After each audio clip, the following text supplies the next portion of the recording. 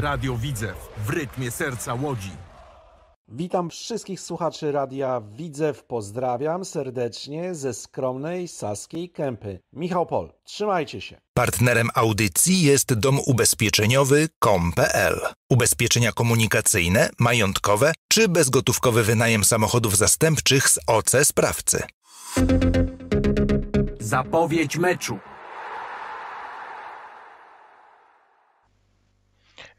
Witamy serdecznie. Przed mikrofonem Marcin Guzewicz. Zaczynamy nową, e, nowy odcinek zapowiedzi meczowej. Przed nami spotkanie Puszczy Niepołomice z Widzewem Łódź. Ze mną standardowo jest Maciek Wojciechowski. Witam Ciebie serdecznie, Maćku. Dobry wieczór, cześć. Tak, dobry wieczór również, e, również Tobie.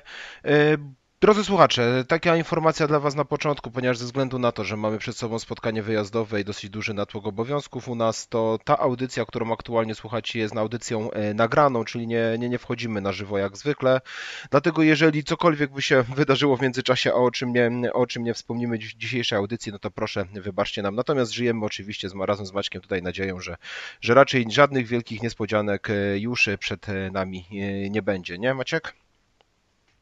No, mamy nadzieję, że nic się złego na pewno nie wydarzy, bo tego byśmy nie chcieli. No na pewno tak, dokładnie. Tak jak wspomniałem, e, siódma kolejka e, Fortuna pierwszej ligi przed nami, spotkanie w Niepołomicach, godzina 12.40, no i wreszcie gramy w weekend.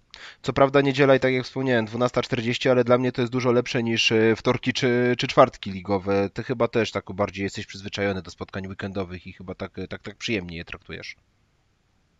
Tak, nawet 12.40 to też taka obiadowa pora i ja nie, nie jestem zachwycony tymi wyborami Polsatu. Akceptuję je, bo muszę, bo nie mam, bo nie mam wyboru. Zresztą widać, że coraz większej grupie kibiców się to też nie podoba. Był nawet stosowny transparent. Nie mhm. będziemy go cytować e, z racji na, na, na wulgaryzmy, jakie tam się znalazły, no ale generalnie można powiedzieć łagodnie, że kibice z Widzewa, spod zegara nie są zwolennikami tych e, pór, jakie wymyśla Polsat Sport i tak, tak możemy to ten, ten, ten temat łagodnie podsumować. Dokładnie tak. No chociaż wiesz, do tej godziny 12.40 to już się troszeczkę też przyzwyczaiłem. Pamiętam tą rundę wiosenną rozgrywaną e, w poprzednim sezonie, gdzie telewizja polska miała wykupione e, prawa do pokazywania e, drugiej ligi. No i tam też sporo żeśmy grali, co prawda o godzinie 13.05, a teraz 12.40, już te 20 minut można, można zaakceptować. Gdzieś tam już to nie jest takim szokiem, jakim było na początku, gdy człowiek był przyzwyczajony do ciągłych spotkań o godzinie 19. 19.10 bądź nie wiem, 14. No po prostu 15. wiesz, Marcin, mhm. przepraszam, że ci wchodzę w słowo, mhm. po prostu wszyscy chcą pokazywać widzę, i TVP, i Polsat. E, e, no, musielibyśmy być jakimś mniej medialnym klubem, nie wiem, jakimś UKS-em na przykład, żeby nas e, rzadziej pokazywali, bo UKS był pokazywany na razie tylko dwukrotnie, z czego, przepraszam, będzie pokazywany teraz po raz drugi, z czego do tej pory był chyba pokazywany tylko raz, w tym, w tym było to spotkanie z Widzewem. Także, no, wiesz. Tak to można, tak to można określić tak to można dokładnie określić, natomiast no wiesz, no to top 5 medialności w Polsce nie wzięło się z niczego. E, dobra, e, po czterech spotkaniach e, domowych, co dawno się nie zdarzyło, żebyśmy mieli taką serię spotkań u siebie i zdobyliśmy w nich 7 punktów, jedziemy wreszcie na wyjazd i co ciekawe, w miejsce, w którym tak naprawdę chyba jeszcze nigdy nie byliśmy, bo przynajmniej jak ja sprawdzałem, to nie mieliśmy okazji mierzyć się z puszczą w, w Niepołomicach. Także odkrywamy na, na mapie Polski zupełnie, zupełnie nową lokalizację. Mi się to tak kojarzy z takimi grami komputerowymi, gdzie chodzi człowiek i odkrywa taką czarną mapę i w tym momencie pojawia mu się to, to, to czarne pole znika i automatycznie ma, że już odkrył nowe miejsce. Także jesteśmy takim eksplorerem i, i, i odkrywamy nowe miejsce w końcu. Możesz mnie Możesz mnie nie denerwować. A co, nie podobają ci się? Aha, dobra, okej, okay. wiem już o co chodzi. Tak, to od razu wam powiem, może na starcie, no, nie, Maciek, przepraszam, no powiem to w tym momencie. Spotkanie w Niepołomicach będę komentował ja, Maćka tam niestety nie będzie, także jakbyś chciał Niepołomice, no to, no to, no to za rok prawdopodobnie, chociaż do ostatniej chwili ważyła się decyzja, który z nas pojedzie, w zależności od godziny, w którym to spotkanie miało być rozgrywane.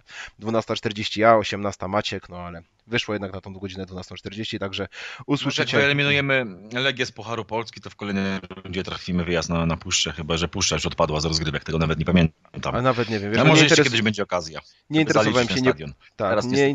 ze względów na imprezę rodzinną ucieknie mi to sprzed nosa, no trudno, no, bywa trudno, i tak. No, No bywa i tak, dokładnie. Co, co, co ci chciałem Maciek powiedzieć? No, no miejmy nadzieję, wiesz co, nie, nie, nie śledziłem niepołomickiej piłki jakoś wybitnie, żeby, żeby zobaczyć jak tam z nimi z Polski, a szkoda, bo to jest kamyczek do mojego ogródka, jeśli chodzi o kwestię przygotowania się do dzisiejszej audycji, bo widzisz, nie, nie, nie zwróciłem na to uwagi, ale tak samo jak nie zwracałem uwagi na Stomil Olsztyn, Zagłębie Lubin czy, czy, czy ŁKS, prawda, jak żeśmy, żeśmy robiliśmy poprzednie zapowiedzi. Dobra, e, informacje statystyczne, czyli stały punkt programu. Mm, Gospodarz, czyli drużyna Puszczy jest aktualnie na miejscu 10 w tabeli Fortuna pierwszej ligi. Zdobyli jej 7 punktów. Bilans bramek mają na poziomie 6-7, czyli minusowy. Natomiast musimy pamiętać o tym, że mm, Puszcza ma do rozegrania jeszcze jedno spotkanie, ponieważ e, oni mają jeszcze jeden mecz zaległy do rozegrania. Te 7 punktów zdobyli póki co aktualnie w pięciu kolejkach e, ligowych. Goście, czyli my w tym wypadku, Plasujemy się na miejscu 12, więc zanotowaliśmy spadek w stosunku do mm, poprzedniej zapowiedzi meczowej z Zagłębiem Sosnowiec, bo wtedy mówiliśmy, że Widzew był na miejscu 10. E, Nasi grajkowie również zdobyli e, 7 punktów, tyle tylko, że właśnie rozegrali o ten jeden mecz więcej, jeden mecz więcej od e, zawodników z Niepołomic. No stosunek bramek mamy jednak słabszy, bo nie dość, że mniej strzeliliśmy, to więcej straciliśmy. 5, e, 5-10, a mówiłem przy poprzedniej audycji, że liczyłem, że się troszeczkę ociepli, z jakiegoś minus 5 może zrobi się minus 3, no póki co temperatura taka sama, także, także jeszcze zimno. Yy, Ostatnia kolejka. Yy, W ostatniej kolejce Puszcza podejmowała u siebie GKS Jastrzębie, drużynę, którą i my dobrze znamy i wygrała to spotkanie 2 do 1, chociaż do 80 minuty utrzymywał się tam bezbramkowy remis. Dopiero w 80 minucie rozwiązał się worek z bramkami i było najpierw 2 do 0, no i w ostatniej minucie GKS Jastrzębie strzela bramkę kontaktową. No czasu już im zabrakło na to, żeby doprowadzić yy, do remisu. Natomiast to mówi nam jedno i oznacza w sumie jedno, że my do samego końca musimy się mocno mieć na baczności i zachować pełną kontrolę i nie może dojść do żadnych błędów e, w obronie, bo widać, że drużyna Puszczy Niepołomice lubi sobie pograć do końca i w każdej w każdej minucie tak naprawdę są groźni i mogą jakoś tam kuku nam e, zrobić. Co z Widzewem? No Widzew dobrze wiemy, kończył tą serię spotkań domowych, e, zremisowaliśmy u siebie z Zagłębiem, Sosnowiec 1 do 1. No a tak, od 15 minuty graliśmy w dziesiątkę, a w międzyczasie jeszcze przegrywaliśmy, także widać po tym, że pokazaliśmy, jakby nie patrzeć, w jakim stopniu charakter chyba w tym spotkaniu. Gdzieś to się znowu zaczęło e, rodzić e, wśród łodzian. E, Udało się odwrócić e, losy spotkania. No może nie tak odwrócić, e, że mecz został wygrany, ale przy mm, jednym ciosie, którym była właśnie ta czerwona kartka Krystiana Nowaka, potem drugim ciosie, czyli bramka Portugalczyka, e, w drugiej połowie po rożnym. No udało się jednak zrobić, e, szarpnąć gdzieś tam e, z przodu i bramka Patrycha Muchy po fajnej akcji Karola Czubaka spowodowała to, że jednak żeśmy e, ten mecz zremisowali. E, Tak jak wspominałem na początku, jedziemy na dziewiczy teren. E, Widzew nigdy nie mierzył się w oficjalnym spotkaniu z Puszczą Niepołomice, także tak jak już mówiłem, będzie to zupełnie nowy rywal dla nas. Nie jesteśmy w stanie powiedzieć nic o poprzednich e, spotkaniach oficjalnych, bo nieoficjalnie zagraliśmy z nimi raz.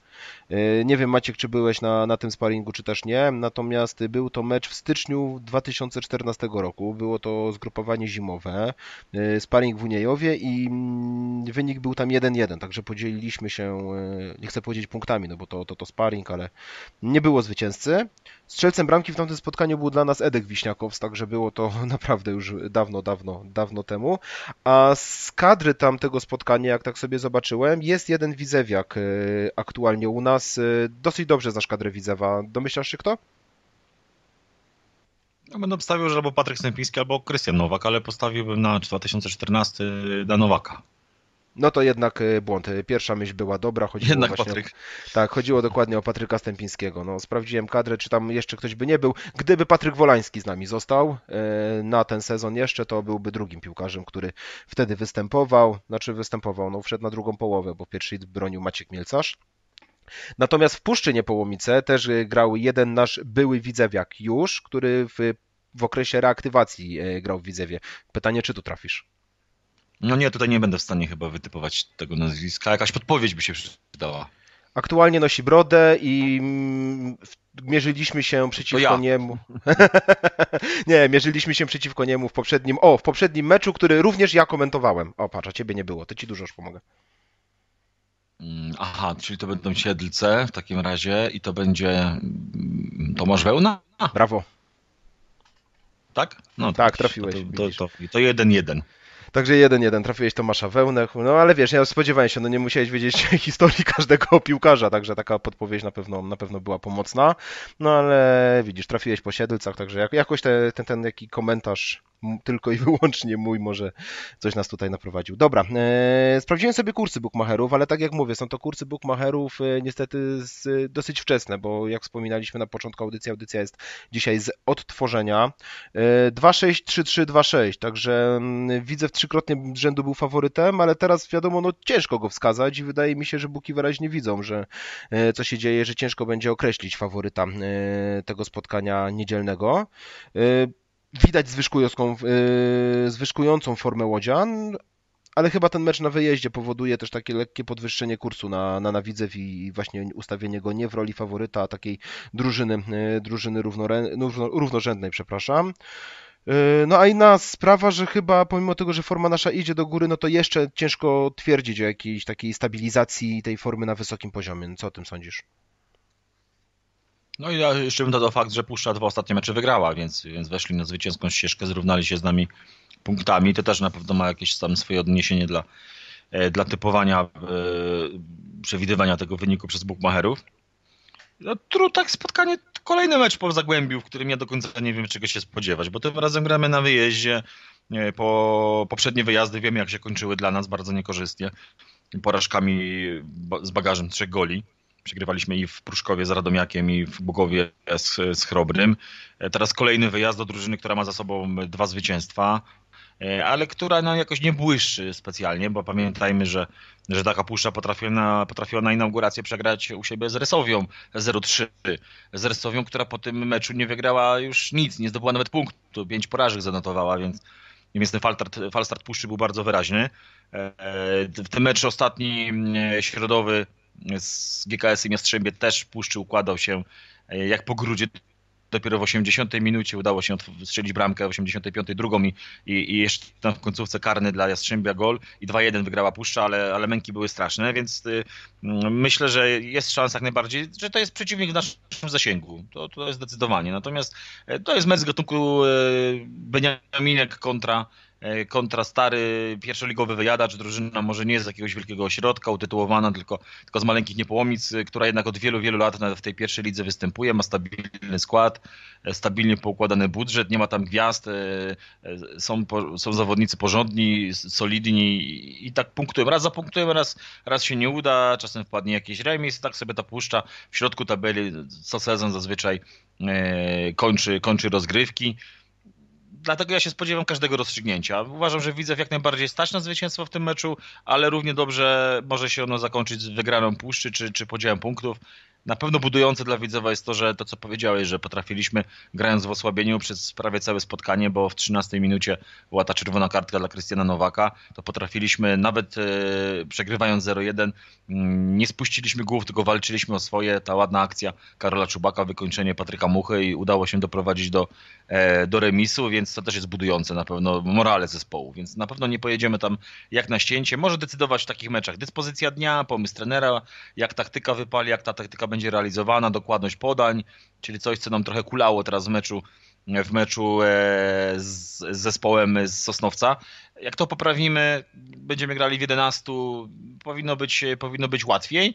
No pamiętajmy, że wróci Merwej Fundambu, który nie pograł sobie za wiele teraz, bo, bo to on padł ofiarą tej czerwonej kartki Krystiana Nowaka. Musiał wprowadzić obrońcę trener Dobi, więc kogoś musiał zdjąć z boiska i zdjął Fundambu. E, Myślę, że Merwej, który uwielbia grać piłką i uwielbia grać w piłkę, jest bardzo głodny tej piłki teraz.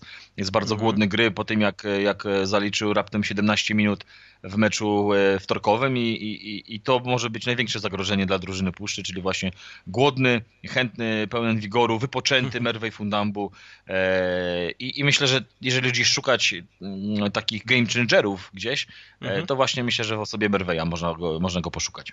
No i myślę, że tutaj masz rację, że to jest właśnie zawodnik, który, tak jak powiedziałeś, wypoczął, będzie głodny gry, będzie chciał się pokazać i jeszcze ma spotkanie wyjazdowe, nie gra e, przy trybunach na, na Piłsudskiego, tylko gdzieś dalej w Polskę wyjeżdża, prawda, i, i będzie mógł coś, e, będzie mógł coś pokazać.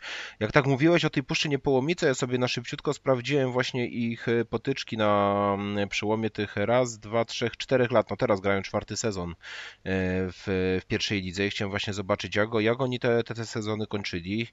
Czyli tak, 2,17, 2,18 to jest 12 y, miejsce, 44 punkty zdobyte i uwaga, 11 zwycięstw, 11 remisów, 12 porażek i 38-38 w bramkach. Bardzo wyrównana drużyna i nie wiadomo tak naprawdę, czy drogowo można było za każdym razem y, na nią grać, bo nie wiadomo było, czy wygra, czy przegra, czy zremisuje i to było widać wyraźnie po, po tabeli i po ich dyspozycji.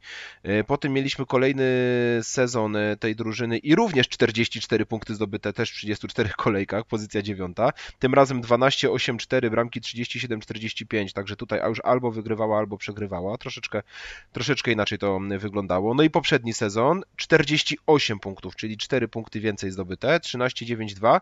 No i oni do ostatniej kolejce, do, do kolejki, przepraszam, byli w walce jednak o, o te baraże razem z Chrobrym Głogów oraz Termaliką Brookbet Niecieczą, bo zakończyli rozgrywki ligowe na, na ósmym miejscu, czyli tak jak powiedziałeś, stary wyjadacz, ale drużyna naprawdę wyrównana i, i, i taki jednak mimo wszystko chyba jednak e, środek tabeli, co również pokazują w tym sezonie, bo tak jak mówiłem, 7 punktów aktualnie zdobytych w 5 spotkaniach, 2-1-2, no i bramki 6-7 i to jest znowu wszystko bardzo mocno wyrównane, także no ciężko stwierdzić w ogóle jak ta drużyna gra, nie wiem czy ty miałeś kiedykolwiek okazję, nie wiem, albo możliwość obejrzenia chociaż jednego spotkania Puszczynie Połomice? Nie kojarzę, nie, nie przypominam sobie. Może gdzieś tam jakiś skrót czy coś, to na pewno zobaczyłem. Natomiast to, to jest drużyna, tak jak powiedziałem, no nie jest złożona z gwiazd, tylko z solidnych zawodników, bardziej anonimowych. Jest tam kilku piłkarzy, których znamy, na przykład Erik Cikosz, e, który, który występował kiedyś w Wiśle Kraków, nawet po mistrzostwo chyba Polski z nią sięgał w sezonie 2008-2009, jeśli mi pamięć nie mieli, ale tu się mogę pomylić. Mhm. Na, pewno, na pewno lata temu. E, I, i, I to poza tym to tam nie ma wielkich gwiazd. No, jeden z takich najbardziej solidnych zawodników, w ogóle nie tylko w Puszczy, mhm. ale w całej lidze jest, jest e, Wiktor Żytek, czyli piłkarz od, od zawsze kojarzony z Widzewem, kibic e, tego klubu pochodzący, pochodzący z Łodzi, chłopak, który mm, no, nigdy jakoś nie wyrósł z roli faworytów kibiców, faworyta kibiców mhm. do gry Widzewie. Znaczy to jest taki Widzewiak, co nigdy w Widzewie nie zagrał. Tak, dokładnie. Nigdy, nigdy się jakoś nie przełożyły te oczekiwania kibiców, te wymienianie jego w kontekście każdego no. prawie okienka. No tak, no co okienko był przymierzony do Widzewa. Dokładnie. Tak, tak. Był chyba kiedyś był taki okres lata temu, kiedy on na jakichś testach się pojawił, ale wtedy się na niego nie zdecydowano i później za każdym razem, gdy on grał w Lechii Tomaszów Mazowiecki, a potem właśnie w Puszcze, jeszcze chyba gdzieś po drodze jakiś klub y, zaliczył, już nie pamiętam jak to dokładnie przebiegało, to też gdzieś zawsze był w kontekście Widzewa przez kibiców wspominany, mhm. a nigdy tak naprawdę się to nie przełożyło na jakąś konkretną ofertę transferową i y, no i tak w sumie patrząc na dzisiejszą grę Widzewa, to, to dzisiejszy Wiktor Żytek pewnie też nie miałby za bardzo miejsca w składzie, bo, bo to jest od, od pewnego czasu typowy defensywny pomocnik, a my mhm. na taką typową szóstkę miejsca w kadrze teraz nie mamy, gramy innym systemem. Natomiast trzeba oddać Wiktorowi, że jest w czołówce piłkarzy pierwszej ligi tego sezonu, ma e, najwięcej pojedynków wygranych e, mhm. średnio na mecz, pod tym względem jest, jest topowym graczem, więc Patryk Mucha czy Mateusz Możdżeń, którzy będą tam gdzieś próbowali, czy Merwej Fundambu sforsować to przedpole, przed polem karnym Puszczy będą mieli, mieli trudne zadanie z, z Wiktorem. No na pewno tak. Wiesz co, jak już tak wspomniałeś o, o tych piłkarzach, to może jednak porozmawiamy chwilkę o nich, bo ty wspomniałeś tutaj o, o Żydku, natomiast Czikoszu, natomiast jest tam jeszcze paru innych piłkarzy i właśnie się zdziwiłem, że o nich nie mówisz. A propos Wiktora Żydka, no to mówiłeś, że on tam był testowany w Widzewie, tak, to było za czasów Radosława Mroczkowskiego, kiedy były te słynne dzieci Mroczkowskiego, natomiast no się wtedy, wtedy jednak nie przebił i, i, i wylądował po prostu po drugiej stronie Łodzi, tam miał chyba rundę czy, czy sezon w UKS-ie. No i potem ta Lechia Tomaszów, no ale tak jak powiedzieli, że e, co, co okienko przymierzany do Widzewa i jakoś nikt do tego Widzewa, e, Widzewa nie trafił, natomiast oczywiście jest on kibicem, wypowiada się zawsze pozytywnie o, o Widzewie i to mu trzeba mimo wszystko oddać. Jeżeli będzie na pewno możliwość gdzieś tam złapania go na wypowiedź w, w niedzielę, to nie omieszkamy tego, nie omieszkamy tego zrobić. Natomiast tak, według mnie jest dwóch innych piłkarzy, którzy gdzieś tam powinni nam mocno zapaść w pamięć. No najbardziej chyba znany z drużyny Puszczynie Połomice, to jest Jakub Bartosz, bo mm, z Wisła Kraków, zawodnik, który po prostu rozegrał tam dobrych parę sezonów, dużo spotkań w Ekstraklasie i, i wydaje mi się, że on może być takim piłkarzem chyba najbardziej rozpoznawalnym, jeśli chodzi o mm, drużynę Puszczynie Połomice. No a drugi z nich, y, no to ten, który też grał w ŁKS-ie, czyli Jewgen Radionow, bo środkowy napastnik, więc y, znowu był ŁKS, jak staje nam tak naprawdę na drodze i znowu na szpicy.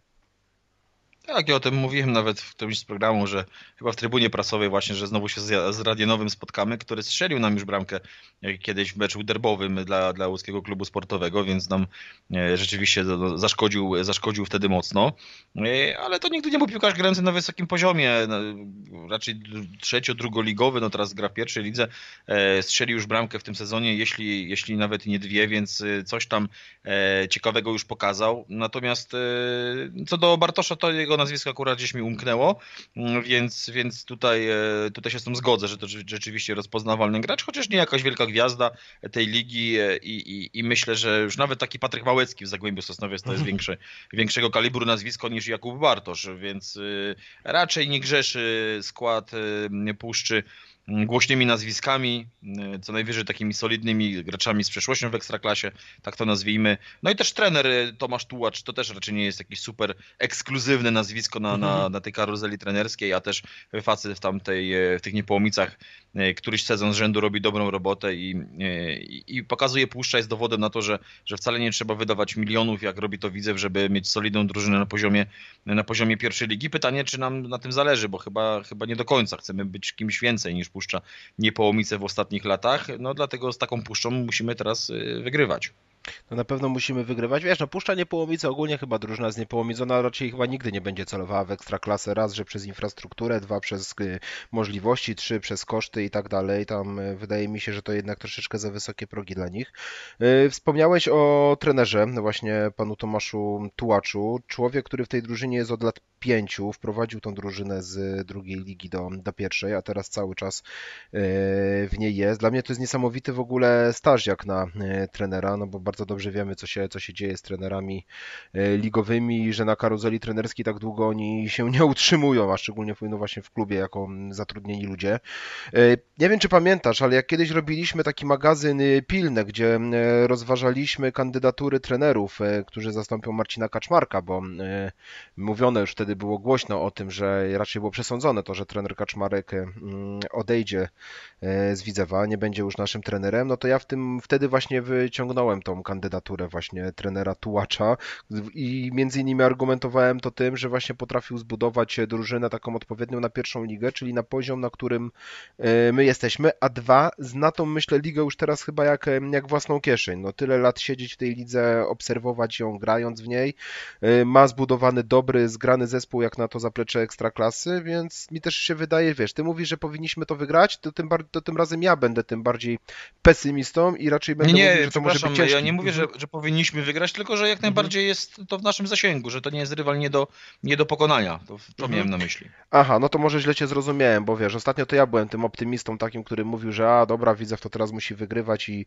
i tak dalej. Ty żeś mnie troszeczkę hamował, właśnie to myślałem, że teraz będzie w drugą stronę, bo według mnie ta puszcza to może być jednak ciężki rywal i, i ten teren, który jest w sumie nieznany też dla nas, no to może być jednak ciężki teren. No mówię, no ty, ty nawet, który się interesujesz e, piłką, interesujesz się widzewem, żyjesz tym na co dzień, czy też ja, no za dużo nawet o tej drużynie nie wiemy. Okej, okay, sztab jest od tego, ma płacone pieniądze za to, żeby, nie wiem, rozkminić, o, przepraszam, brakuje mi słowa już takiego, e, użyję bardziej młodzieżowego, rozkminić drużynę E, zrozumieć ją i znaleźć jej słabe punkty. No pytanie, czy, czy są w stanie to zrobić?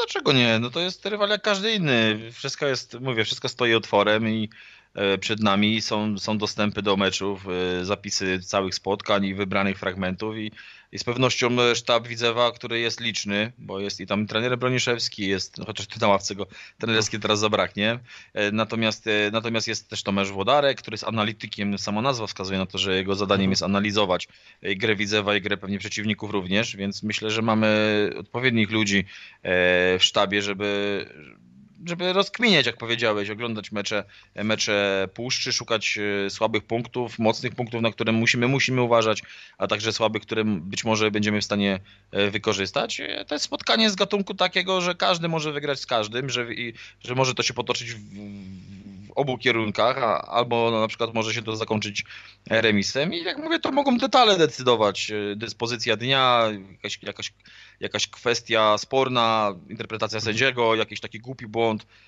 jaki nam zafundował chociażby Krystian Nowak w starciu z Patrykiem Małeckim. To takie rzeczy mogą mieć, mogą mieć znaczenie i, i, jak najbardziej Widzew jest w stanie wygrać to spotkanie, ale też może je równie dobrze przegrać i, i myślę, że to się może potoczyć w różnych kierunkach. Zresztą sam powiedziałeś, jak te statystyki wyglądają, jeżeli chodzi o zespół z Niepołomic, że oni grają bardzo regularnie i praktycznie tyle samo mają porażek co remisów i, i, i zwycięstw i, i bramkowo też to wygląda na styku, więc jest to taki typowy średniak, co też w takim małym ośrodku, mało tradycyjnym na piłkę, też jest sztuka, żeby, żeby, żeby tak to wszystko organizować i to, że tak długo się trener Tułacz utrzymuje na, na, na trenerskiej ławce w Puszczy, to też jest sztuk, pewnego rodzaju sztuka, że, że mu się to wszystko udaje robić.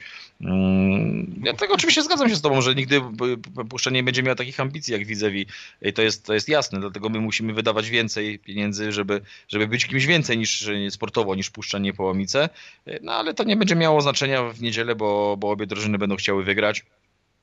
Nikt nie będzie się zastanawiał, kto tutaj więcej wydaje, tylko jak gwizdek zabrzmi, to, to wszyscy ruszą i, i każda, obie strony będą chciały zejść z boiska jako, jako zwycięzcy. No, wspomniałeś tutaj o tym, że trener Tułacz długo się utrzymuje, tak sobie teraz myślę, po tej informacji o zwolnieniu trenera Grabowskiego z Resowi, że trener Tułacz się dobrze utrzymuje, bo nie awansował do ekstraklasy. Czuję, że gdyby on awansował do ekstraklasy, nawet po barażach z szóstej pozycji, wygrywając te baraże, to po dwóch miesiącach i porażkach w Niepołomicach zostałby po prostu pogoniony. Także, także chyba akurat jego błogosławieństwem jest to, że to jest właśnie taka drużyna średniak bez ambicji, która sobie spokojnie gdzieś tam gra w tą piłkę, no i do weekendu tam właśnie w tych małych niepołomicach kibice mogą przyjść i pooglądać jakąś tam w miarę rozsądny poziom piłkarski, także wydaje mi się, że to też może być e, tajemnica Coś utrzymywania jest. się Coś trenera Tułacza na stanowisku, także mm, tak, to, tak to chyba e, wygląda. Maciek, a powiedz mi tak szczerze mówiąc, e, jaki Widzew my jutro powinniśmy zobaczyć, bo w czterech ostatnich spotkaniach, gdy Widzew grał właśnie z ŁKS-em, ze Stomilem, z GKS-em Jastrzębie, czy teraz z Zagłębiem Sosnowiec, w prawie każdym spotkaniu, mm, no nie liczę oczywiście UKS-u, Widzew przeważał i znaczy o tym meczu z Sosnowcem to mówię o tych pierwszych 15 minutach, bo wydawało mi się, że widzę był wtedy lepszą drużyną.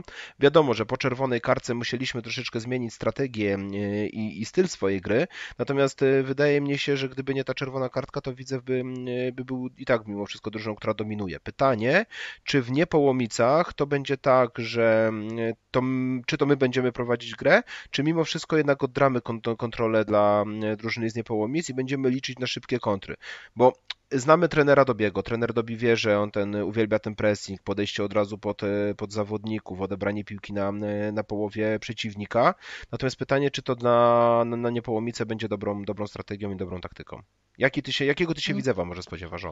No, trzeba byłoby zobaczyć oczywiście te mecze i żeby wiedzieć, jaka taktyka byłaby dobra, ale myślę, że po pierwsze to, to nie zgodzę się z tym, że, że Widzew dominował w tych pierwszych minutach y, meczu z Zagłębiem. Raczej, raczej to Zagłębie wysoko ruszyło na Widzew i nawet sam Patryk Małecki mówił o tym, że był trochę zaskoczony, że, e, że tak to się właśnie udało jego drużynie zrobić, że, że wszyscy się w Sosnowcu spodziewali, że to Widzew usiądzie na, na Zagłębiu, a nie odwrotnie. No natomiast e, no to efektem tego były, tych nacisków były błędy, jakie popełniał właśnie mhm. między innymi e, w tym spotkaniu Krystian Nowak, zakończone w sposób mhm. najgorszy z możliwych, czyli, czyli no może kartką. To może inaczej natomiast, oglądałem. Wracając, natomiast wracając do, do, kwestii, mm, do kwestii Puszczy, no to ja myślę, że trener Dobi będzie chciał grać swoje i, i to jest raczej trener, który owszem, no, sprawdza, co się dzieje w obozie rywali, ale jednak no, nie odchodzi od tych swoich zamysłów i, e, i raczej stara się grać swoje. Myślę, że możemy liczyć na to, że zobaczymy znowu widzę w dobrze zorganizowany w defensywie, bo, bo to był klucz do tego, żeby nie przegrać meczu z Zagłębiem. Grając e, prawie cały mecz e, w 10 na 11 potrafiliśmy bardzo dobrze się bronić, przesuwać formacjami, strefami. Zagłębie miało wielki problem, żeby wejść tę tak zwaną trzecią tercję i, i tam gdzieś spokojnie sobie pohasać z piłką w polu karnym. Tak naprawdę jedyne zagrożenie, jakie Sosnowiczanie tworzyli, to były stałe fragmenty, bo gol padł po dośrodkowaniu z rzutu e, rożnego, słupek po strzale, e, po strzale z rzutu wolnego, jeszcze rzut rożny w pierwszej połowie, gdzie Marcin Robak o mały włos nie zaliczył samobójczego trafienia, gdy, e, gdy to było dośrodkowanie Łukasza Turzynieckiego też z rzutu rożnego, a więc tak naprawdę to, to poza tymi stałymi fragmentami Zagłębie nam mocno nie zagrażało i, i to wynikało z faktu, że po pierwsze byliśmy bardzo dobrze zorganizowani w, w grze, no ale też po drugie mm, sytuacja, czyli ta czerwona kartka dla Krystiana no, spowodowała, że Widzew akurat taką strategię na resztę spotkania przyjął. E, więc byliśmy bardziej wycofani, bardziej uważni w tyłach, a nie otwieraliśmy się za bardzo, bo baliśmy się, że zostaniemy skarceni, mając jednego zawodnika mniej. W Niepołomicach nie powinno się już to powtórzyć, mhm. więc będziemy grali po 11, więc tam będzie można podejmować większą odwagę, więc myślę, że e, też z drugiej strony będziemy się narażali na trochę większe ryzyko otwierając się, ale tam nie ma czego, czego się bać, trzeba wyjść, e, zagrać swoje, więc myślę, że zobaczymy Widzew przede wszystkim dobrze pracujący w, w defensywie, bo to, bo to ostatnio dobrze, dobrze wygląda. Myślę, że Michał Grudniewski e, to jest zawodnik, co do którego nie musimy się jakoś obawiać, że mocno zaniży, e, zaniży poziom, bo prawdopodobnie to jego zobaczymy w pierwszym składzie. Zresztą o tym będziemy jeszcze mówić dzisiaj, ale, mhm. ale wydaje mi się, że to będzie, że to będzie właśnie on. E, no a z przodu no, chciałbym, żeby wreszcie Marcin Robak dostał jakieś, jakieś dobre podanie w pole karne, żeby, żeby wreszcie koledzy mu wykreowali jakąś sytuację, bo jemu bardzo brakuje jakiegoś takiego no, przełomowego meczu, w którym strzeli bramkę bramkę, kiedy mu kamień spadnie z serca, kiedy, kiedy to, ta, ta krytyka lekko, e, lekko ucichnie.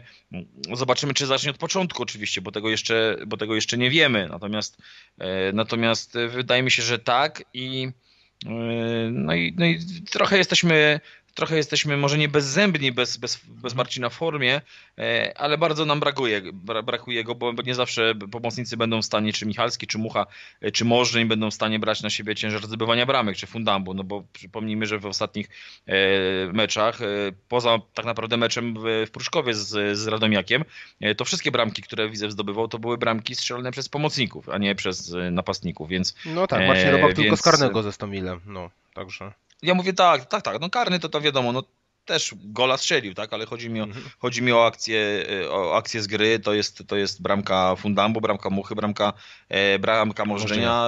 Michalski wywalczył rzut karny również, więc jego też można, e, można przypisać do, te, do tej sytuacji z, z meczu ze Stomilem, więc e, no, brakuje nam Marcina, I liczę, że, że, w końcu, że w końcu zagra dobre zawody, ale przede wszystkim no nie chciałbym go znowu oglądać takiego notorycznie cofającego się w głąb pola e, boiska po piłkę, no bo on traci przez to siły, przegrywa pojedynki, notuje straty, e, stąd tak słabe liczby potem w Instacie widoczne. E, no, trochę rozumiem, że, że po tym jak Merwej zszedł z boiska przez czerwoną kartkę Nowaka, to, mm, e, no to brakowało mu trochę wsparcia Marcinowi, że Kun nie dawał rady być w dwóch miejscach jednocześnie i na skrzydle i schodzić do środka, mhm. dlatego Marcin no, nie miał z kim za bardzo, nie miał nikogo do pomocy i, i sam tam głębiej schodził, więc to trochę też było wymuszone e, brakiem, brakiem ofensywnego pomocnika w naszym zespole, a tutaj będzie trochę inaczej, więc, więc ja sobie też dużo obiecuję po tym powrocie e, Fundambu, no bo no to jest zawodnik, który w każdym który ciągnie nam grę grał, do przodu. No, Dokładnie, nawet jak nie miał jakiegoś super meczu, jak, jak, jak w spotkaniu z, chociażby z GKS-em Jastrzębie, to i tak wszystko co dobre zaczynało się od niego. I, znaczy on musi i, na i każdej najbardziej... akcji ofensywnej Widzewa postawić swój stempel, zauważyłem, że piłka mimo wszystko przychodzi za każdym razem przez fundambu, jeżeli my idziemy z grą y, do przodu, także bez tego zawodnika Widzew ma problem z wykreowaniem jakiejś e, odpowiedniej akcji ofensywnej i w momencie, kiedy ten zawodnik jest, to tak się dzieje. My dzięki temu no mówię, właśnie, potrafimy... Ja bym ja, ja, bym dodał, że, że najbardziej jest widoczny brak, e, znaczy najbardziej doceniamy Fundambu, gdy go nie ma na boisku, bo po prostu widać, że w tym momencie widzę w tym ataku pozycyjnym wygląda słabo. E, nie ma tam kogoś, kto mógłby zrobić jakąś taką przewagę w środkowej strefie, bo Robak nie jest od tego, żeby wygrywać pojedynki, tylko tego, żeby wykańczać po prostu akcję.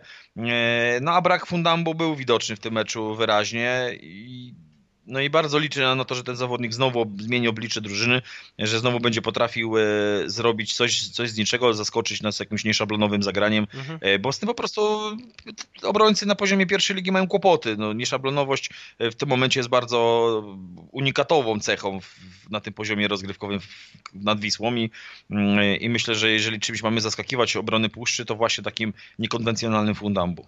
Dokładnie tak, y, tym bardziej, że musimy jeszcze wykorzystywać właśnie Merveja i jak najmocniej się da i jak najczęściej się da, póki zawodnicy drużyn przeciwnych się go nie nauczą, bo to, że się nauczą gry Fundambu i, i nawet tych niekonwencjonalnych zagrań, bo, bo niektóre już w tym momencie widzę, że są mocno powtarzalne, y, to, mm, to musimy to wykorzystywać, a w momencie, kiedy właśnie oni się już nauczą tej gry Merveja, no to będzie nam oczywiście trudniej, ale póki tego nie ma, więc trzeba, trzeba nim grać cały czas.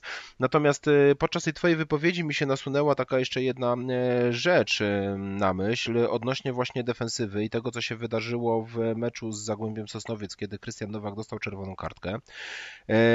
Z jego miejsce w środku defensywy zajął Grudniewski i to, co mnie bardzo mocno ucieszyło oglądając to spotkanie, to jest właśnie to, że my w końcu chyba mamy skonsolidowaną linię defensywną, że zamiana zawodnika na zawodnika jest zamianą 1 do 1 i nie ma czegoś takiego, że my tracimy w tym momencie na jakości, że wchodzi naprawdę piłkarz o bardzo podobnych, jeśli nie tak samo wysokich umiejętnościach, bo gra Widzewa zupełnie przez to się nie zmieniła. Nie było po prostu takiej takiego strachu, a przynajmniej u mnie go nie było, że za chwilę któryś może coś odwalić. Nie, ta drużyna grała pewnie i dobrze. Widać wyraźnie, że oni się rozumieją, jeśli chodzi o grę defensywną, co też jest ciekawe, bo na przykład trener Dobi przecież jest znany z tego, że jest trenerem grającym ofensywnie, więc pytanie, co się takiego wydarzyło, że, że my w końcu mamy tak fajnie skonsolidowaną grę defensywną. No ktoś ich tego jednak musiał nauczyć.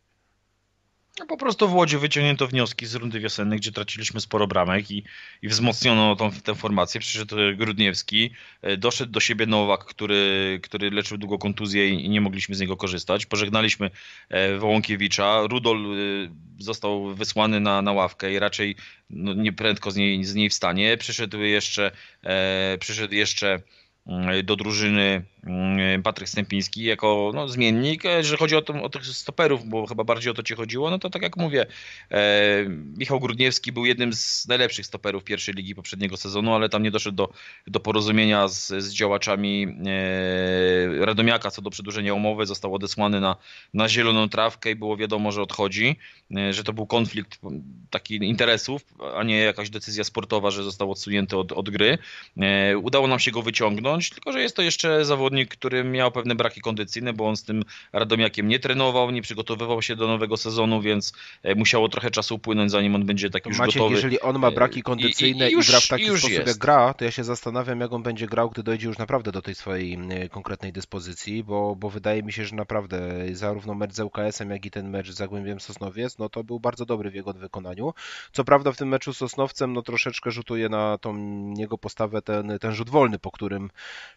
Karbowy, tak? Filip Karbowy e, strzelił z rzutu wolnego tak, e, tak. prosto w słupek, gdzie naprawdę było blisko tego, No tak, jest to kamyk do ogródka tak. Michała, ale, ale wiesz, e, jak to jest, jeżeli piłkarz jest dobry na tej pozycji, no to jest w stanie te braki kondycyjne nadrabiać mądrym ustawieniem się, czytaniem gry, podejściem pod, mhm. właściwie pod piłkę i, i Michał to, to po prostu robi na razie, a gdy, a gdy dojdzie fizycznie do siebie już tak na 100%, no to będzie mu po prostu łatwiej.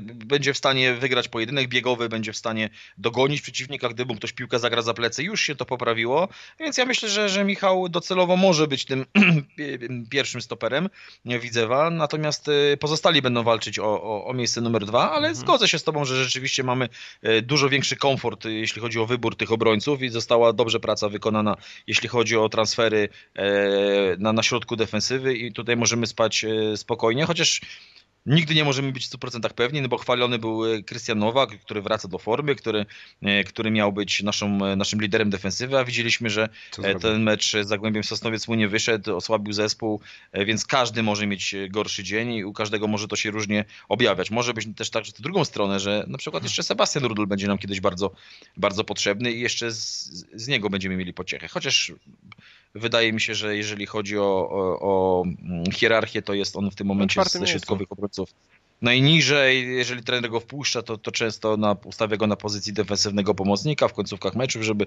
dowieść wynik, więc nie zdziwię się, jak zimą e, wróci widzę do pomysłu, żeby, żeby Sebastiana pożegnać. A, naj, no. a jeżeli nie zimą, no to, to już na pewno na koniec to już na pewno sezonu. Latem. Dokładnie tak. E, wiesz co, dwie ostatnie kwestie jeszcze odnośnie e, tego spotkania z Zagłębiem. Ja już sobie będę chciał je e, tak totalnie zamknąć, bo przyjdziemy sobie dalej potem pod ten mecz z, z Puszczą. Natomiast tak, powiedz mi jedną rzecz.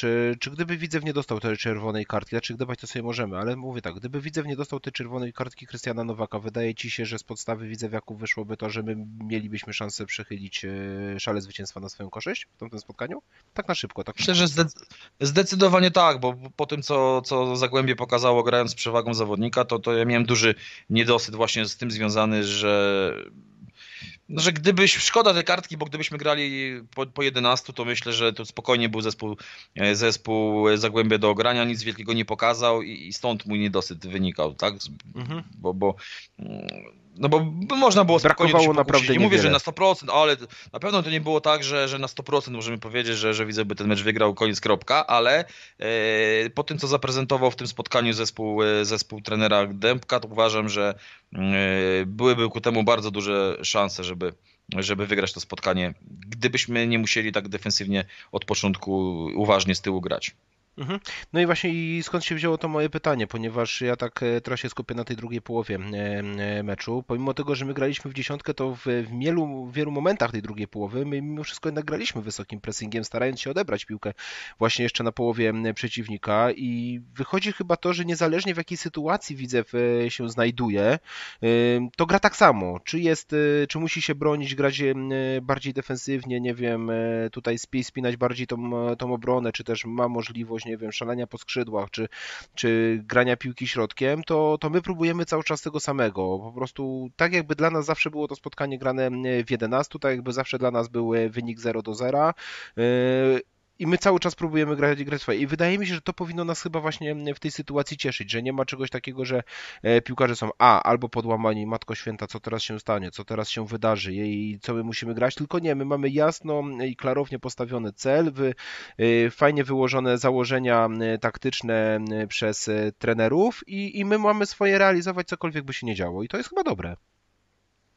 Tak, dobre, dobre, oczywiście mówię, musimy trochę, e, trochę brać e, poprawkę na to, z kim gramy, e, w jaki sposób gra przeciwnik i tak dalej, dostosowywać te, te, te, te, korekty taktyczne, wykonywać przed każdym spotkaniem, ale generalnie tam ogólny zamysł, filozofię gry mamy jasno określoną, drużyna coraz lepiej już wie, co ma, co ma grać. Piłkarze się między sobą też coraz lepiej już dogadują i, i łapią chemię, chociaż niektórzy są są w niej od raptem półtora miesiąca, więc to wszystko musi wymagać jeszcze czasu. Nadal, że, że, że tutaj jeszcze się nic nie, nie przełomowego nie wydarzyło, ale czas pracuje na naszą korzyść i mi się to podoba, że mamy jakiś, że Widzew jest jakiś, że nie jest e, nijaki, że jest bezbarwny, e, że po prostu gra jak setki innych drużyn, tylko ma swoją, e, swoją widowiskową koncepcję gry. Czasami ona będzie dawać punkty, nie zawsze. Na razie w większości przypadków nie dawała, ale no mhm sezon jeszcze długi i, miejmy nadzieję, że ten trend się, się odwróci. I jak patrząc na razie jestem mm, może nie pełen optymizmu, tego bym nie powiedział, ale jakoś ze spokojem patrzę w przyszłość i wcale nie uważam, żeby e, po tych sześciu pierwszych kolejkach można było już gdzieś e, wygłaszać tezę, że e, że w tym sezonie to Widzewowi się jednak te, tego awansu nie, mhm. uda, nie uda wywalczyć. Wcale jeszcze bym nie mówił o tym, że na przykład nie stać nas na baraże. Nie chcę też powiedzieć, że, że na pewno mhm. one będą, ale ja na razie jeszcze myślę, że taka prawdziwa weryfikacja jeszcze nie przyszła i, i to, czy my będziemy w stanie walczyć o tę pierwszą szóstkę, czy, czy nie będziemy w stanie, to się dopiero będzie z biegiem e, tygodni, miesięcy rozstrzygać. Może się dopiero wiosną rozstrzygnie, bo jeśli tabela będzie tak płaska, jak to miało miejsce w poprzednim sezonie e, pierwszej ligi również, bo nie tylko w drugiej było tak wyrównanie, to, to może nawet do ostatniego meczu sezonu się będzie liczyło to, czy zagramy w barażach, bo ja raczej bym się nie nastawiał na, na miejsce w pierwszej dwójce, choć też tego do końca wykluczyć nie można, ale raczej, raczej nie. Raczej myślę, że, że tam powalczą Termalika, Arka, ŁKS o, o te dwa miejsca, te, te, trzy, te trzy drużyny. Natomiast e, baraże myślę, że są w naszym, w naszym zasięgu. Tylko trzeba po prostu wygrywać, trzeba, trzeba robić progres. Na razie ta drużyna moim zdaniem robi progres, no i oby tak dalej, oby, oby nie przyszedł jakiś dołek. Teraz przed nami mecz z Puszczą, potem z Andecją, która jest ostatnia w tabeli, a więc będziemy mieli e, znowu taki terminarz w miarę, w miarę y, korzystny i nic tylko z tego skorzystać. Oczywiście, że tak, czyli co, my fundamenty mamy póki co wylane, bo jest gdzieś ta, ta stabilizacja, zaczyna to fajnie, wy, fajnie wyglądać. Pora co, postawić e, parter i zacząć budować pierwsze piętro, jeśli, jeśli takim tutaj możemy to tak, e, taką metaforę po prostu e, użyć, bo, bo wydaje mi się, że właśnie to tak wygląda. Dwa, wszystkie słowa trenera Dobiego mm, sprzed sezonu zaczynają się sprawdzać. On wyraźnie powiedział, że to będzie drużyna, która czasem wygra, czasem przegra, czasem zremisuje, ale mimo mimo wszystko będzie przynosiła dużo radości kibicom. I ja ci powiem, że po tych y, sześciu spotkaniach, które ro, rozegraliśmy, plus tym jednym spotkaniu pucharowym, to tak właśnie jest. Drużyna jest jakaś, to co powiedziałeś. Nie można powiedzieć, że y, Widzew jest bez stylu. Coś próbuje grać, próbuje grać ofensywnie, czasem wyjdzie, czasem nie, ale, ale im się to udaje. No, fajnie się ten Widzew ogląda. Wreszcie, wiesz co, dawno nie było tak, że mm, Widzew się po prostu oglądało fajnie i przyjemnie dla oka. No, czasami przegrają, czasami zremisują, czasami wygrają, ale jednak jest, jest to jakieś takie przyjemne i co widać po trybunach. Nie ma słynnego krzyku, wiadomo, Widzew grać i tak dalej, tylko każdy cierpliwie czeka, bo widzi jednak, e, widzi jednak progres tej drużynie. No, widzi progres i widzi to, że piłkarze nie przechodzą obok meczu, tylko wkładają naprawdę 100% e, w każde spotkanie i, i, i to jest, e, jeśli miałbym po tych sześciu meczach ligowych wskazać taką główną przewagę trenera Dobiego nad trenerem Kaczmarkiem, to moim zdaniem to jest właśnie umiejętność wydobycia e, z drużyny tych cech mentalnych, że tutaj Marcin Kaczmarek miał z tym, miał z tym problem. Myśmy o tym wielokrotnie mówili, że w momencie, kiedy piłkarze e, są gdzieś pod ścianą, kiedy, kiedy zagląda im strach przed porażką, albo po, są po przegranym meczu i trzeba odbudować zaufanie kibiców, no to oni będąc pod presją, pod taką typową ścianą, starali się. Przegrywali z Lechem 0-2, wyciągnęli. Prowadzili z Garbarnią, Garbarnia wyrównała, poprawili. E, kiedy, kiedy, byli, kiedy byli naprawdę już mocno przymuszeni, no to wtedy zaczynali, e, zaczynali e, ruszać się trochę szybciej niż muchy w smole, mhm. a wtedy, kiedy to nie dojeżdżało, no to mieliśmy, mieliśmy kłopoty. Ja mówiłem to jak mantrę, że musimy, że musimy zacząć od, od tego, żeby mm, pokazywać co najmniej taką determinację jak przeciwnik, a potem piłka się sama obroni, bo drużyną piłkarską byliśmy, byliśmy lepszą. Tu oczywiście już jest poziom wyżej i, e, i, i, to nie jest powiedziane, że za każdym razem będziemy wkładać 100% możliwości, to się piłką obronimy, bo inne drużyny też mają klasowych zawodników. Widzieliśmy w derbach, widzieliśmy w meczu z Radomiakiem, że, że sama walka e, to nie zawsze jest wystarczające, e, ale ona jest. I tutaj już nie musimy się zastanawiać, nie musimy w zapowiedzi meczowej, gdy ty mnie pytasz, mhm. jaki bym chciał zobaczyć widzew i jakie mam przewidywania, to ja nie muszę powtarzać tego jak, jak e, pacierz co, co, co wieczór, że że musimy zagrać na dużym za, zaangażowaniu, że musimy cechy ewolucjonalne i dodatkowo jeszcze najlepiej wystrzegać się tak. prostych błędów. Bo tego nie e, ma. Bo to powtarzałem, powtarzałem i powtarzałem. A teraz już nie muszę tego powtarzać, bo to po prostu jest z automatu. Ta drużyna wychodzi i walczy na 100%. Wtedy kibice po prostu to doceniają, widzą i jeżeli, e, jeżeli mimo wszystko drużyna nie wygrywa, e, no to jest to wybaczane zespołowi, bo, bo, no bo widać, że zrobił wszystko, tak jak to było w derbach. Tak? Widać było, że w ŁKS w meczu derbowym derbowym, e, widzę, przepraszam, w meczu derbowym e, zrobił wszystko, co mógł zrobić i nie wygrał. No to widocznie nie mógł wygrać. Widocznie rywal był, był od nas e, silniejszy. silniejszy. Więc, więc to powoduje właśnie to, że, że te słowa trenera Dobiego rzeczywiście się sprawdzają, że kibice też to kupują. Widzę, że trener im tutaj makaron na uszy nie nawijał. No i to procentuje, to, to będzie procentować jeszcze, jeszcze jakiś czas, natomiast później przyjdzie moment pewnej stagnacji. No i zobaczymy, jak, jak to potem trener będzie na to wszystko w stanie reagować, bo pewne małe kryzysy się jeszcze, jeszcze pojawią. Na razie jest yy, tak sobie, ale ja jestem dobrej myśli i uważam, że że idzie to w dobrym kierunku, tak bym powiedział i dlatego ja, mhm. ja bym jeszcze nie wykluczał tego, że powalczymy o te, o te baraże, chociaż absolutnie nie chcę pompować balona, nie chcę o tym teraz e, w ogóle jakoś mhm. mówić mhm. zbyt szeroko, bo, bo to mówię, to się będzie rozstrzygało być może dopiero za, za wiele miesięcy w rundzie wiosennej. Pamiętajmy, że mamy ten, tą, tę przewagę nad rywalami, że możemy sobie pozwolić, e, jeśli dobrze poukładamy sprawy personalne, na jakieś mocne transfery, jakieś solidne wzmocnienia w przerwie zimowej, czego nie, być może nie będą w stanie zrobić, bo jeżeli pozbędziemy się tych niechcianych ogniw, na, na, na przykład Henryko Jamy, czy, czy być może Sebastiana Rudola, który nie gra, a, a sporo zarabia, no to zwolnią nam się jakieś środki na to, żeby sprowadzić jednego, dwóch zawodników. Będziemy już po całej rundzie, będziemy wiedzieli, gdzie są jakieś e, najpilniejsze potrzeby do, do wzmocnienia, czy potrzebujemy mhm. wzmocnić lewą obronę, czy lewe skrzydło, czy sprowadzić napastnika rozgrywającego i tak dalej. Będziemy to wszystko e, mieli na, na, na, na tacy pokazane po tej rundzie i wtedy będziemy mogli też na to reagować i, e, i dlatego mówię, że te ewentualne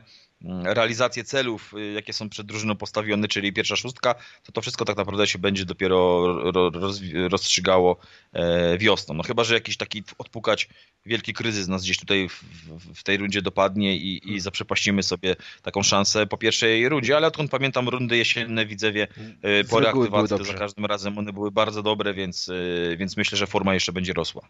No poza tą w czwartej lidze, tam akurat było na odwrót wtedy, wtedy wiosna za trenera Puski była. A to drużyna z łapanki, kompletnie, tak. kompletnie nieprzygotowana do sezonu, mhm. zebrana, zebrana na kolanie za 5-12, to się nie mogło udać. No właśnie, wtedy się nie mogło udać, no ale wiadomo, że udało się na szczęście później na wiosnę. Dobra, ale wiesz co, cieszy mnie to, co mówisz e, właśnie e, o, tym, o tej opcji mentalnej, bo ja bardzo dobrze pamiętam, jak żeśmy zapowiadali spotkania w drugiej lidze i w pewnym momencie nawet rozmawialiśmy właśnie o trenerach mentalnych, o psychologach i tak dalej. To aktualnie nie jest potrzebne. Widać, że e, ta drużyna się, się, się rozumie, wie o co chodzi, nie potrzebuje takiej właśnie pomocy z zewnątrz. I ja po tych spotkaniach, które rozegraliśmy do tej pory, w sumie też jestem dobrej myśli, bo pokazał się widzę właśnie walczący.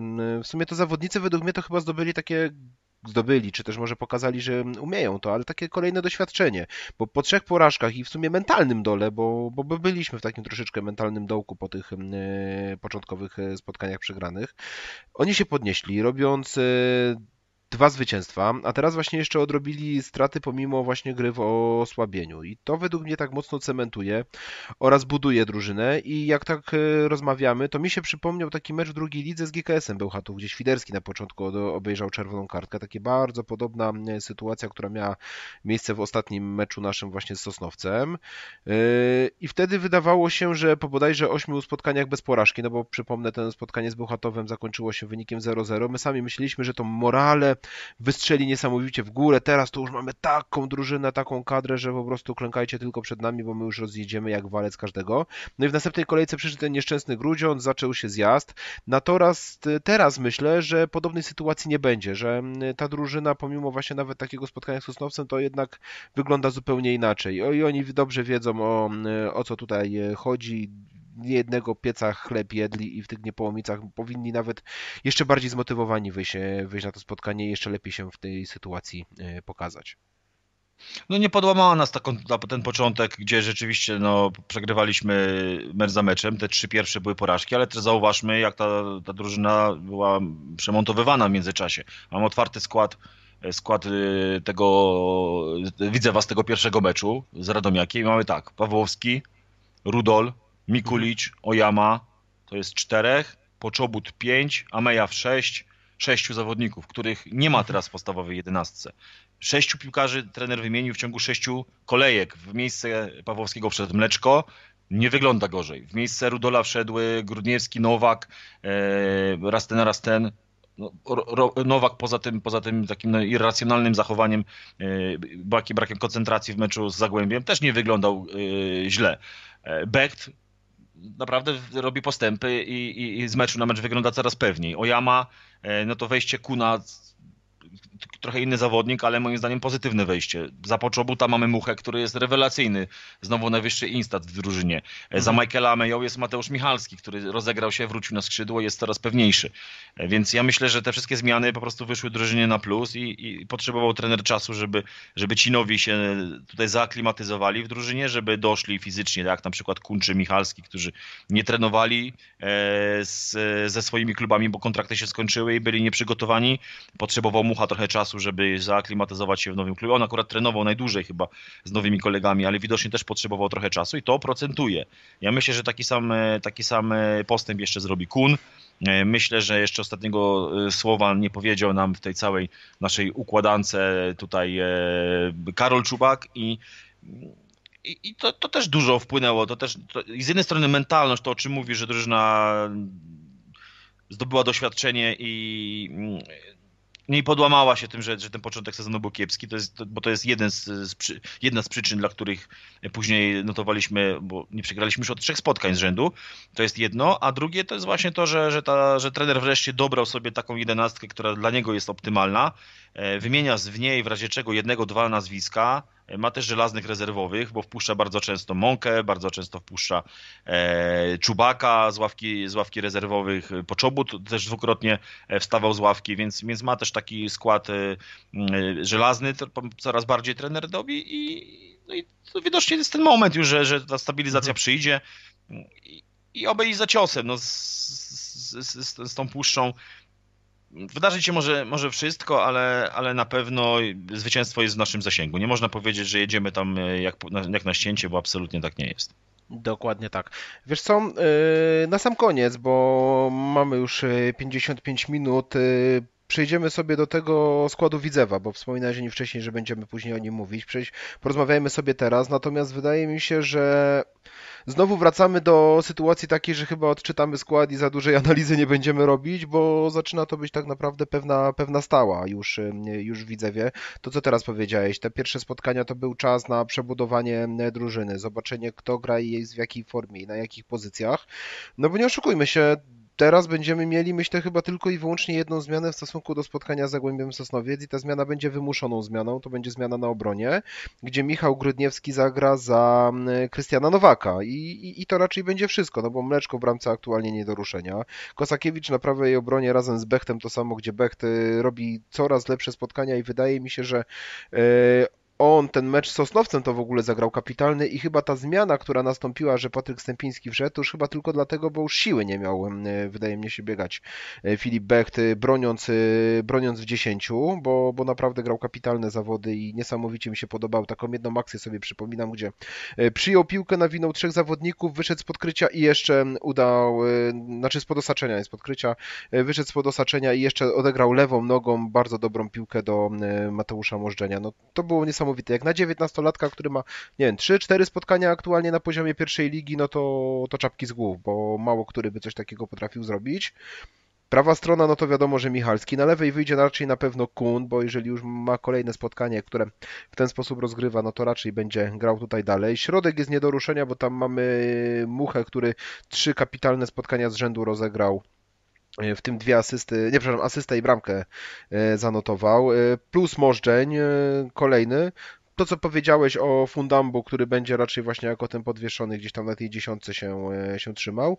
No i póki co chyba jeszcze Marcin Robak, ale wydaje mi się, że Marcin Robak to są nie chcę powiedzieć jego ostatnie szanse, ale, ale on musi w końcu coś zrobić, bo za chwileczkę zacznie się to, że on może zostać jednak posadzony na tej ławce, jeżeli, jeżeli nie będzie nic robił. Tym bardziej, że on według mnie, schodząc do środka, jednak robi więcej złego niż dobrego aktualnie, bo traci bardzo dużo piłek.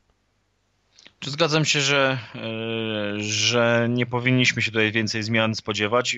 Przed meczem e, z Zagłębiem tak się trochę głośno zastanawiałem, że może jeżeli jakieś zmiany nastąpią, że ta jedenastka się nie sprawdzi, którą przewidujemy, to to wynikałoby co najwyżej albo z jakichś tam taktycznych zastosowań, albo ze zmęczenia, bo mieliśmy 4, 4 dni przerwy. Teraz ta przerwa będzie dłuższa. My graliśmy we wtorek, a teraz gramy w niedzielę, więc mamy, e, mamy o jeden dzień dłużej na odpoczynek, więc skoro wytrzymaliśmy spokojnie, grając w 90 minut, e, prawie w dziesiątkę e, i daliśmy sobie, i daliśmy sobie radę fizycznie, to też na to, na to też trzeba zwrócić uwagę, bo dużo było głosów znowu krytykujących trenera Migdała po pierwszych spotkaniach, że wyglądamy fizycznie bardzo źle.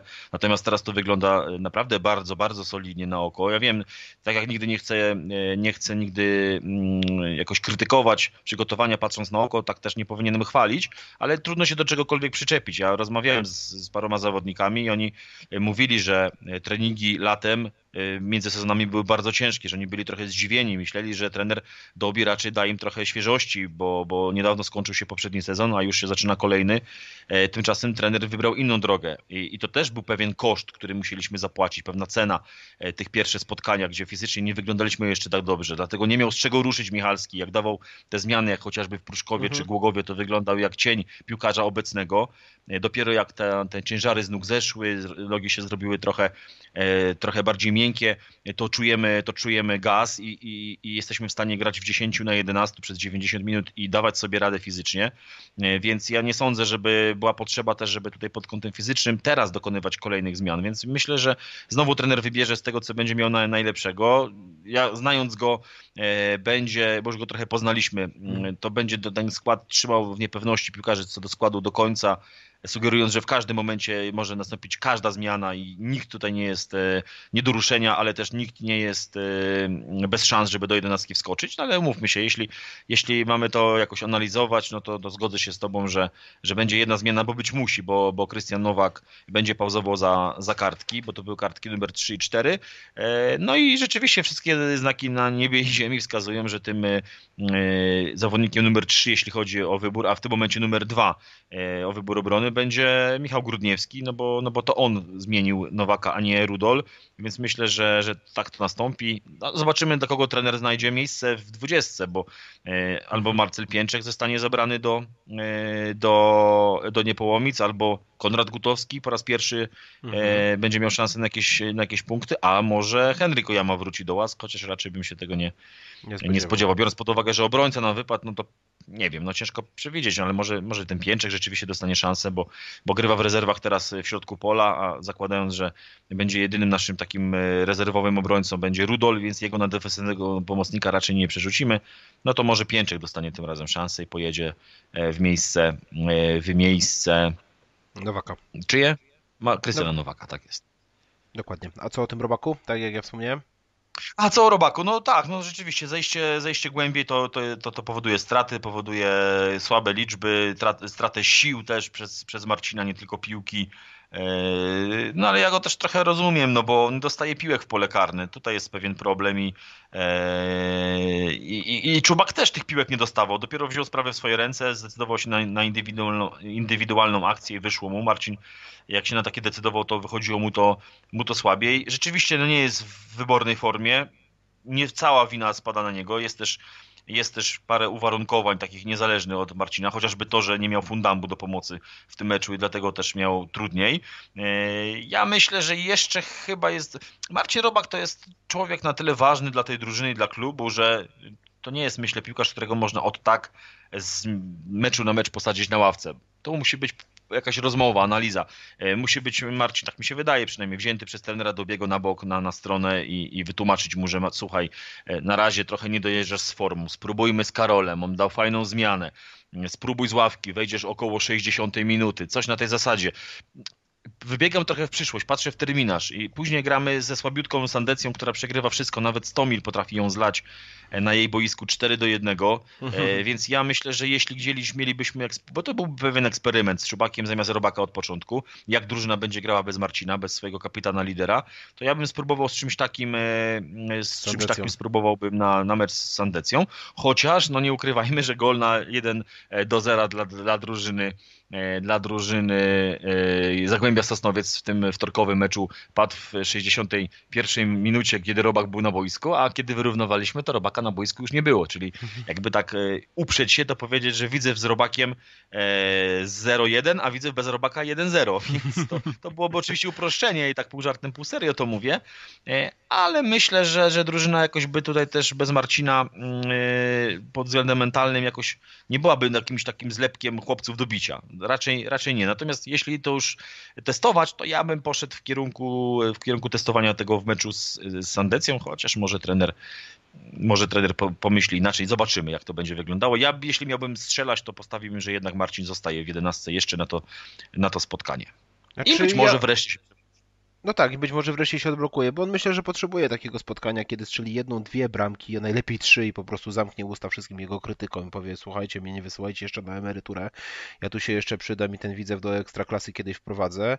No oby tak było właśnie w tym spotkaniu e, w Niepołomicach. Ja naprawdę z całego serca tego Marcinowi życzę, bo no, mam sympatię do tego chłopaka, po prostu widzę, że wrócił, dotrzymał słowa, mógł iść do Legnicy, prawda, pograć sobie już wcześniej w pierwszej lidze, jednak wrócił do Widzewa i, i, i, i grał u nas, także także, naprawdę mm, wielki szacunek za to i będzie i, i, i, niech tak będzie, niech Marcin po prostu tam, y, tam u nas jest, no ale tak jak mówię, no musi tą swoją formę poprawić, to jest, to jest absolutne.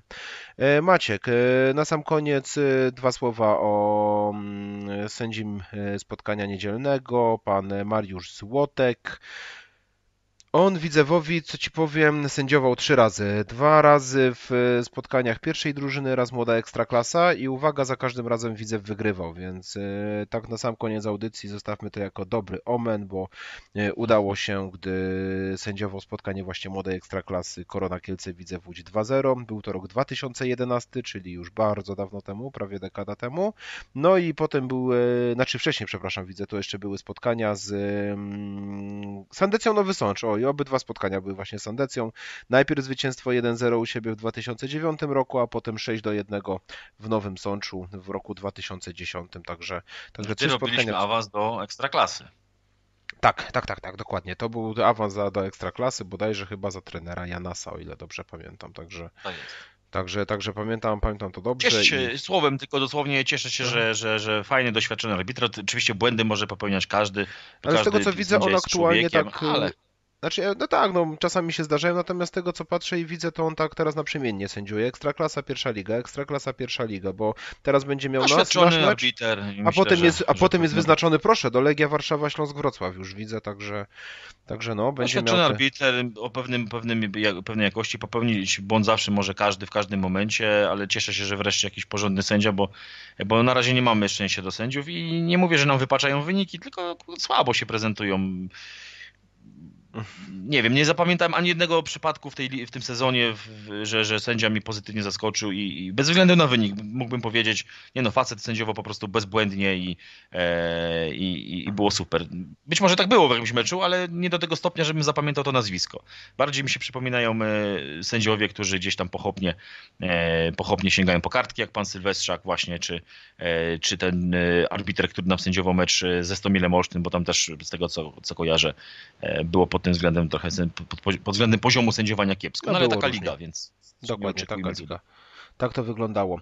E, teraz tak, e, jako że no wiadomo, jutro już e, to spotkanie, niedziela, 4 października, 2020, to tylko przypomnimy, co się będzie działo w trójbloku meczowym. 12.15, 12.35 zaczynamy magazynem rozgrzewka i tutaj Maciek Winczewski z Adamem Sadowiakiem, który wraca do nas po, e, po swoim urlopie. E, rozgrzeją właśnie e, Was, przygotują do spotkania z Puszczą Niepołomice, potem o 12.35 do mniej więcej godziny 14.30 komentarz spotkania i tym razem będzie to moja skromna osoba komentować, czyli Puszcza Niepołomice widzę w Łódź, no i o 14.30 do 16.30 dogrywka ponownie z udziałem Maćka Winczewskiego oraz Adama Sadowiaka, także mam nadzieję, że po zwycięskim spotkaniu będziecie, będziecie mogli e, z nimi pogadać i podzielić się swoimi komentarzami. Natomiast e, za dzisiaj za kolejny już siódmy odcinek e, zapowiedzi meczowy, jeśli chodzi o ligę, a ósmy ogólnie, bo żeśmy zapowiadali jeszcze spotkanie przecież z Unią Skierniewice. Dziękuję Wam Marcin Guzewicz oraz Maciej Wojciechowski, dziękuję. Wita witamy, przepraszam, żegnamy Was serdecznie i do usłyszenia do jutra. Trzymajcie się na razie i cześć.